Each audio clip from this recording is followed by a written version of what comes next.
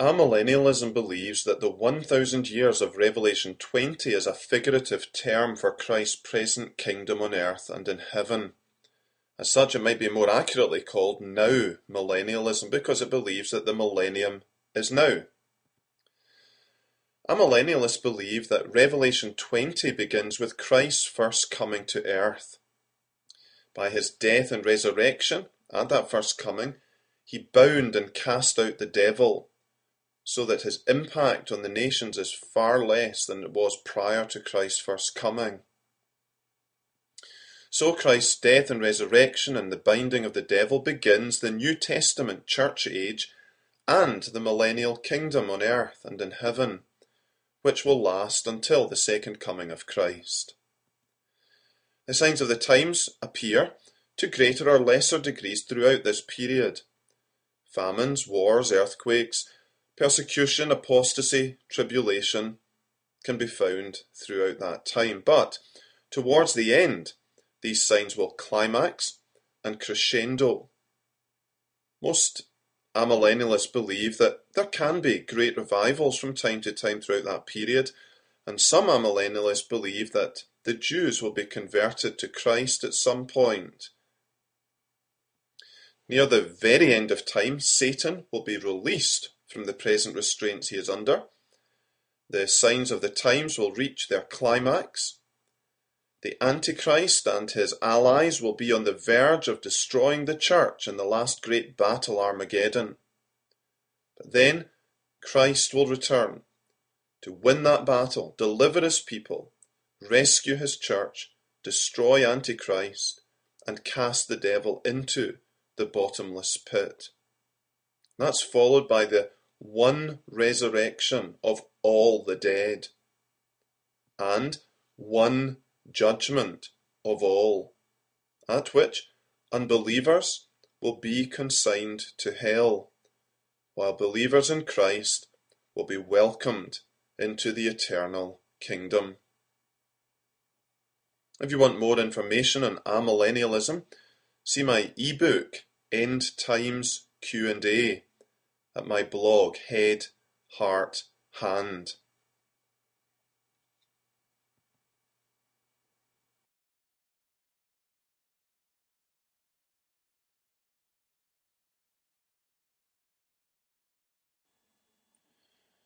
Postmillennialism believes that the 1000 years of Revelation 20 is a figurative term for a future golden age of Christianity on the earth. Let's look at the timeline of postmillennialism. We start with Christ's first coming, his death and resurrection. This started the New Testament church age, during which the gospel does make some progress in the world. Many postmillennialists place the signs of the times of Matthew 24 and Revelation in the past, around the destruction of Jerusalem in 70 AD. At some future time, Revelation 20 will begin. Satan will be bound in a way he has not been before, and a golden age of Christianity will begin on the earth. This is the millennial kingdom.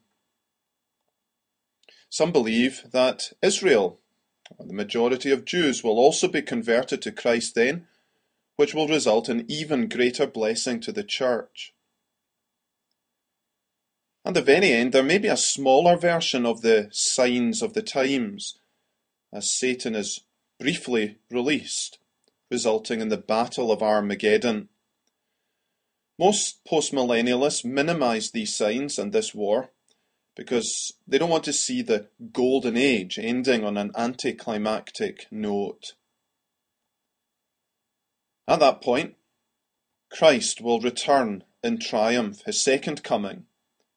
He will win the last battle, resurrect all the dead, and judge all the living and the dead, followed by the eternal kingdom, the new heavens and the new earth for his people.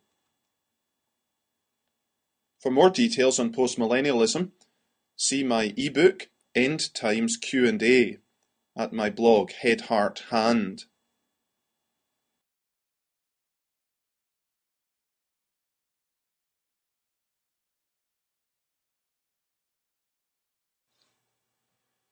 Historic premillennialism believes that after the end time signs, including the Great Tribulation, Christ will return to earth to bind Satan, resurrect his people, and reign on earth for 1,000 years. Here's the historic premillennialism timetable. We begin with Christ's first coming, his death and resurrection. This begins the New Testament church age. The signs of the times of Matthew 24 and Revelation occur throughout the New Testament church age to one degree or another, but they get especially bad near the end. Just before the end, there'll be two great events Israel converted and the Great Tribulation. The Great Tribulation will climax with the terrible Battle of Armageddon. Then, Christ will return to earth. He'll win that battle and raise all dead believers.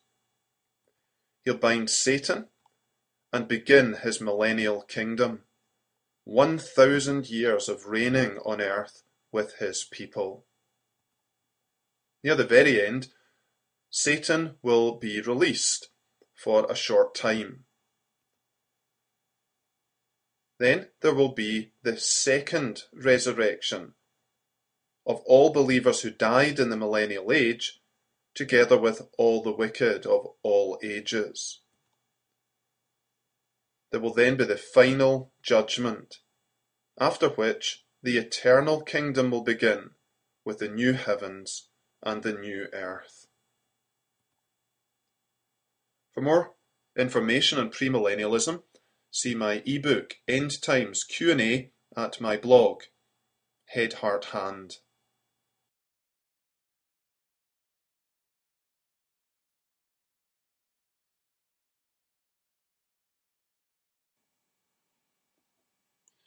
Like classic or historic premillennialism, dispensational premillennialism believes that Christ will return before the millennium but it's more complicated in its timeline than historic premillennialism. Let's take a look at it.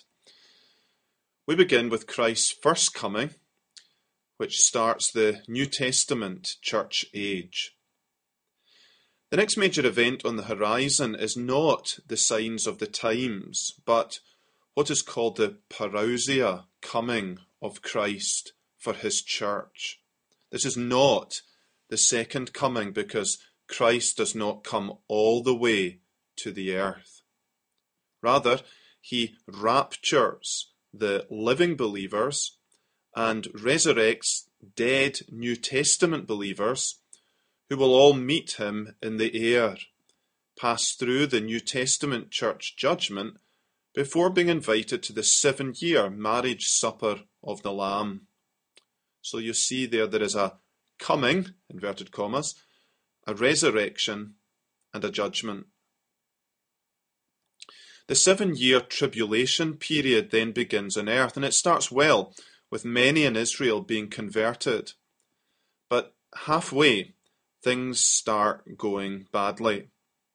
The signs of the times appear natural and spiritual disasters and sufferings. And it climaxes with the great tribulation sufferings at the hand of Antichrist and his armies. But once that seven year period is completed, then we have the Battle of Armageddon. Christ then returns to earth with his church. And this is the real second coming, often called the revelation of Christ or the apocalypsis. In this, Christ comes all the way to the earth. He wins Armageddon, destroys Antichrist and his forces. He then resurrects tribulation martyrs and Old Testament saints. And the judgment of the nations will then take place. That's sometimes called the sheep, goats, judgment. Again, notice that triad of coming, resurrection, and judgment. Christ then binds Satan and the millennial kingdom begins on earth, with Christ reigning from Jerusalem for 1,000 blessed years. However, At the very end, Satan is briefly released to lead the hordes of Gog and Magog against the church. But Christ comes in fiery judgment on these enemies and casts Satan into the bottomless pit. There will then be the resurrection of all the wicked dead, together with those saints who died in the millennial period. And that brings us to the great white throne judgment. You'll see this is the third group of coming, resurrection, and judgment. So there are three comings, as it were, three resurrections, and three judgments. Then begins the new heavens and the new earth. So basically, dispensational premillennialism teaches that Christ's second coming will occur in four phases. You've got Christ's rapture at his parousia coming, Christ's revelation at his apocalypsis coming, Christ's reign over the millennial kingdom, and then Christ's renewal, the new heavens and the new earth, which is the eternal kingdom.